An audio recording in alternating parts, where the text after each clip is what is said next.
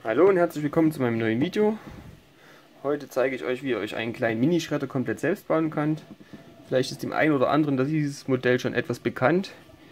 Ähm, ich habe vor einiger Zeit schon mal so einen Schredder gebaut, jedoch ist diese Version hier nochmal ganz doll verbessert worden. Ich habe überall Kugellager verbaut, dass die Schredderräder nicht klemmen. Ich habe das Teil wesentlich stabiler gebaut. Ich habe auch nochmal die Passungen der Zahnräder angepasst, so dass, es, dass der Schredder wirklich ein komplettes Rundum-Upgrade gekriegt hat. Wenn ihr es selber nachbauen wollt, findet ihr die Dateien an Thingiverse oder Kurz 3D. So, jetzt kommen wir zu den Teilen, die ihr dafür benötigt. Ihr braucht erstmal oben den Trichter.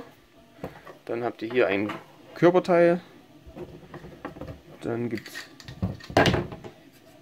noch so ein Teil, die dann aufeinander kommen. Den, den Teilen für die Kugellager. Oben andersrum. Oben kommt der, der, der Trichter drauf. Und unten drunter braucht ihr noch einmal die Beine. Ich habe jetzt hier alles in schönem Gelb und dunkelgrau gedruckt. Ähm, was ihr noch braucht, ist natürlich die, der Griff. Griff ist bei mir wieder aus dem Hellblau. Was ihr oder was ich jetzt wesentlich verbessert habe in diesem Modell ist die der Zusammenbau der ganzen Schredderräder. Und zwar ist es nicht mehr wie im letzten Modell ein Komplettteil, sondern ich habe diese diesmal aus einer einzelnen Welle gebaut und einzelnen Schredderrädern. Diese Räder werden sozusagen hier aufgesteckt. Das Ganze müsst ihr ein bisschen aufpressen mit dem Schraubstock oder ähm, so einer Presse. Extra straff gemacht, damit es wirklich nicht kein Spiel hat. Ich habe die Schredderräder, weil das hier unten sechskant ist, habe ich die mal so versetzt draufgesetzt. Und vorne und hinten kommt dann noch ein Kugellager drauf. Welches Kugellager ihr braucht, steht auch in der Projektbeschreibung wie immer, so dass ihr das wirklich relativ einfach nachbauen könnt. Wie ihr seht, habe ich ja diese Welle schon etwas vorbereitet. Was wir jetzt noch machen müssen, ist das Aufpressen der, der Zahnräder. Aber das kriegen wir ohne Probleme hin. So, kurz Platz gemacht hier. Einmal eine große Presse hingestellt. Zahnräder. Und jetzt wird das Ganze natürlich da eingepresst.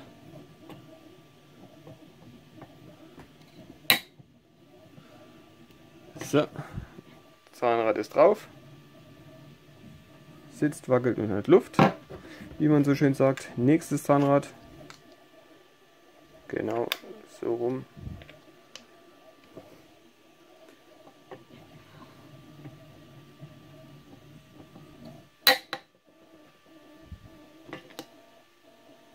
Passt. Und jetzt können wir auch gleich noch, oh, zum Schluss. Muss ich kurz gucken, dass es auch einigermaßen passt. Das kommt hier drüben hin und das da und das dorthin. Genau. Dann mache ich auf die Seite hier. Das war das falsche Teil. So, das Ganze hier so irgendwie so drauf fädeln. So, halten. Und. So. Und schon haben wir das hier so drauf gepresst. Griff, Zahnrad, einzelne Räder, Kugellager. Und jetzt haben wir das Ganze hier schön als eine stabile Einheit. Also so schnell geht das auch nicht kaputt. Brauchen wir das Teil jetzt vorerst nicht mehr.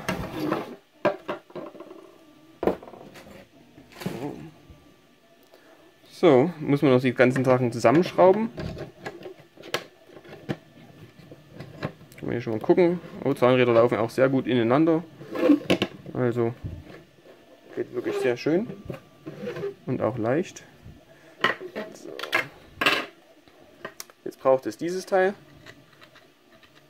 Das müssen wir jetzt gucken, dass das hier richtig rum drauf kommt. So. Das. Und jetzt braucht ihr Schrauben vom Typ M3 und ungefähr mit einer Länge von 10 oder 12 mm. Das ganze Schrauben habe ich hier. Die werden jetzt hier oben reingesteckt. Und dann wird das Ganze nach unten in den anderen Körper verschraubt.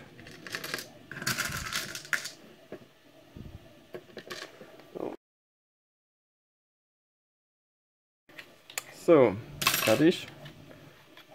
Versucht zu drehen passt wunderbar. Es läuft wunderbar, die Zahnräder ineinander.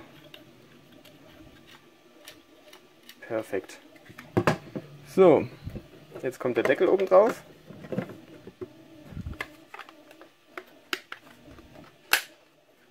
So, ein bisschen draufklicken.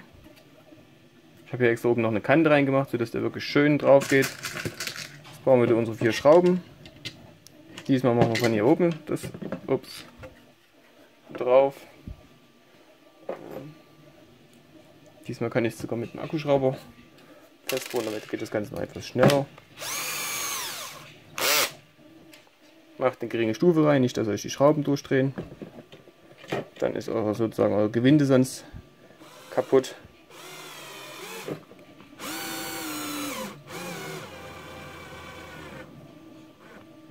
So.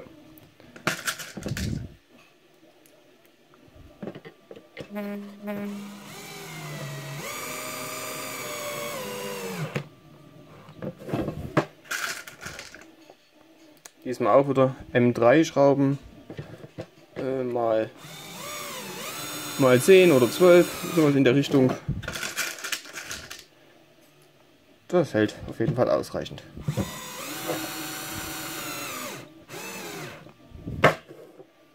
So, der Teil ist schon fertig. Als nächstes kommt der Fuß unten dran. Für den Fuß einfach unten wieder draufstecken. Diesmal sind es nicht M3 Schrauben, aufgrund der Größe nehmen wir jetzt ungefähr M2 x 6. Die kann man erstmal alles so schön reinstecken. Und dann wird damit der Fuß sozusagen festgeschraubt.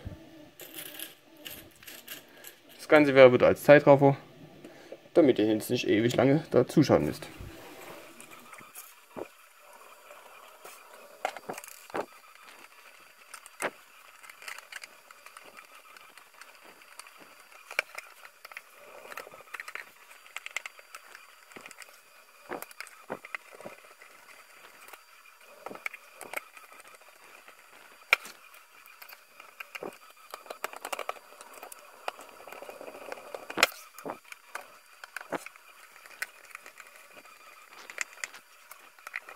Füße sind fest.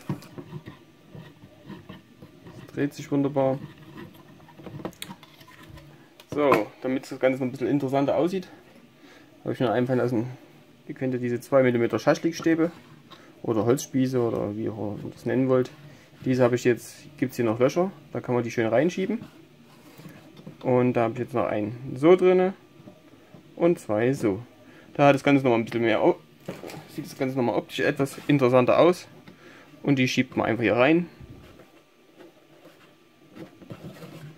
Das geht etwas straff. Wenn es zu straff gibt, kann man noch eine Zange mit dazu nehmen.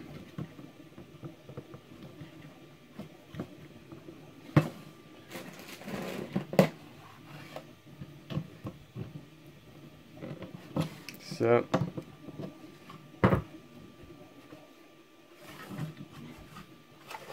Kann man das Ganze hier mit so einem kleinen kleinen Zangen abschneiden. Das, was übersteht, haben wir schon mal das erste fertig. Da. Und jetzt kommen noch die zwei anderen von der Seite rein.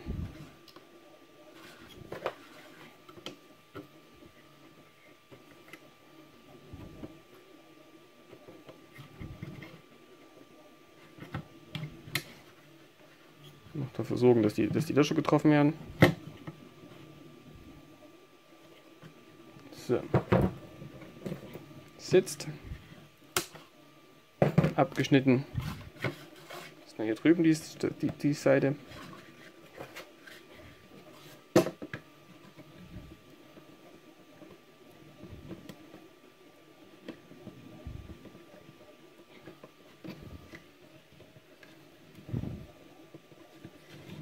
So, hoffentlich geht es richtig so rein.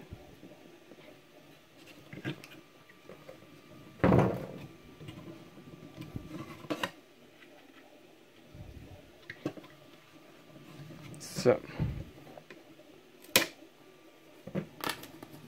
So, fertig. Fertig ist unser kleiner Schredder. Wie versprochen will ich euch jetzt zeigen, was man jetzt noch alles mit diesem Schredder machen kann.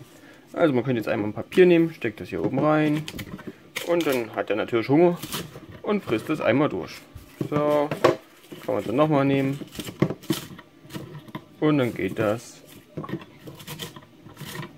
Kann man das jetzt machen, bis das sozusagen klein gehäckselt ist. Kann man noch ein bisschen welches dazu nehmen. Alles oben einfach rein. Und das Papier geht schön durch.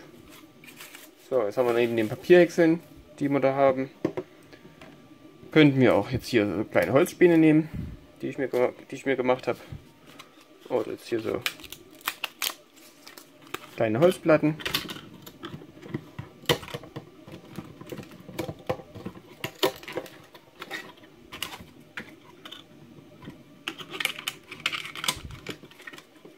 die Kamera ein bisschen umstellen, dass ihr das Ganze noch mal ein bisschen besser seht.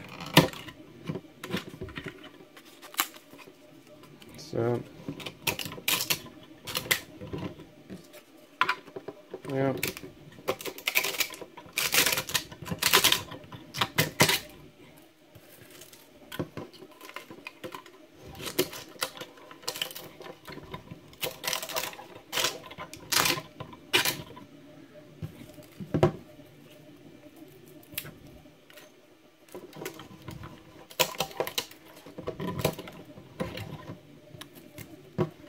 Also selbst kleinere Holzstückchen kann man damit gut zerteilen.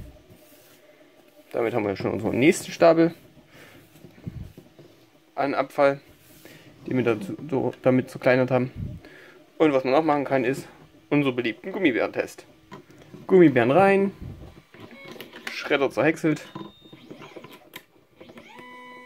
jetzt mal ein etwas dickeres, großes Gummibär.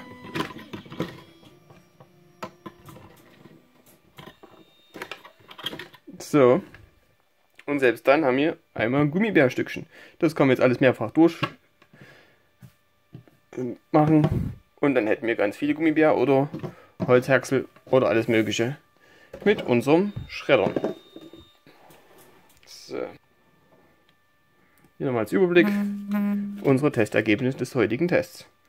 Holz, Gummibären oder Papier, alles keine Probleme für unseren Schredder weil uns ja nach dem ganzen Kurbeln irgendwann mal die ganzen Finger wehtan, gibt es noch einen Adapter, den kann man sich in seine kleine Bohrmaschine oder Akkuschrauber einspannen, festmachen, das Teil hier drin aufsetzen und schon wird das ganze Ding zur richtigen Häckselmaschine.